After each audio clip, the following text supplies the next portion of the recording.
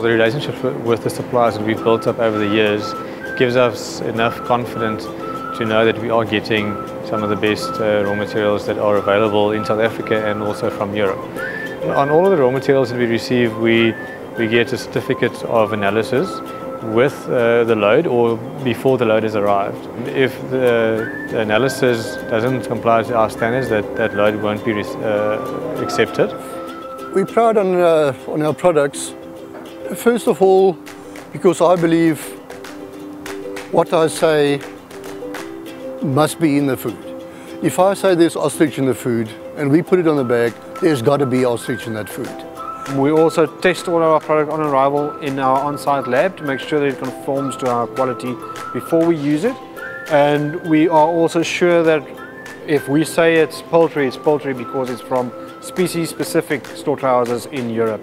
Um, except for our ostrich, of course, which is from South Africa, from a company called Klein Karoo, but there as well, it's a species-specific, and it's a, from a slaughterhouse conforming to European standards.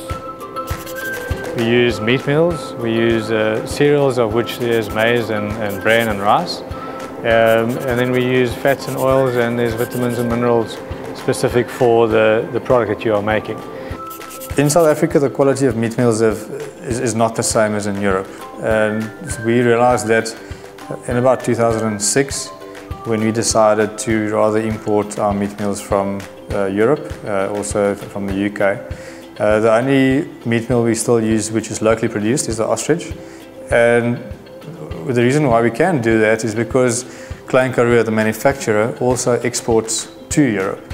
And for them to be able to do that, they need to apply or comply to the European standards.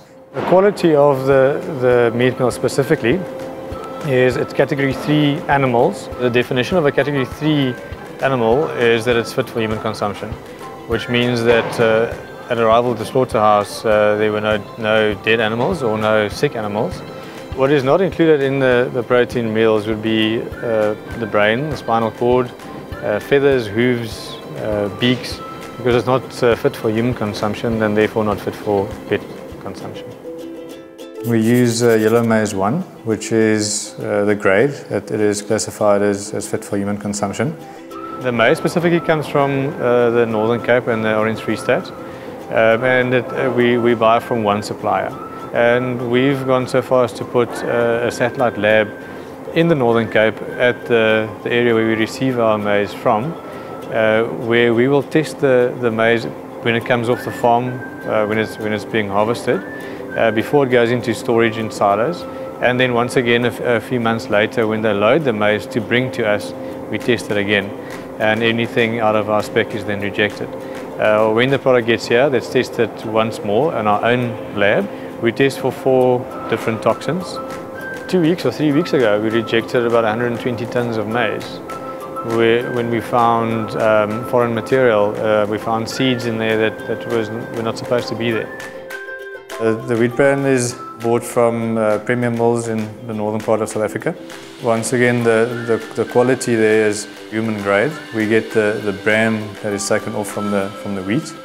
And uh, we also test it in the same manner as we, what we do for the maize, all the toxins uh, that we test for. The rice that we use is imported from India. It's also the same uh, quality that will be used for, for humans. The vitamins and minerals are specifically formulated for each product and we received that in blends already uh, from SA Premix, uh, a South African company. The fats and oils that we use on all of our products um, is also manufactured uh, in South Africa by a company called Energy Oil. Uh, they supply most of the pet food market in South Africa. The, the blend that we use is specifically uh, formulated for us. Uh, it's a mixture of, of, various oils and fats, which includes linseed oil, canola oil, sunflower oil, and then poultry uh, fat and beef fat. We always believe never ever skimp on quality. So it's easy to say we can get a cheaper product to put in it, but it won't be the same. It won't be the same quality that we've given our customers and which they've become accustomed to.